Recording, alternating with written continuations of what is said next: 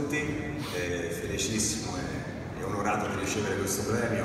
Fabrizio, la differenza l'ha fatta al voto che mi sono dato, quindi abbiamo fatto comunque tutti e due un'annata fantastica e forse l'avresti meritato anche più te di me perché hai vinto il campionato con, con 5 giornate d'anticipo, quindi eh, grazie a tutti, ringrazio logicamente la, la società, la, il mio staff e, e, i giocatori qualcosa di, di fantastico. Insomma. Grazie.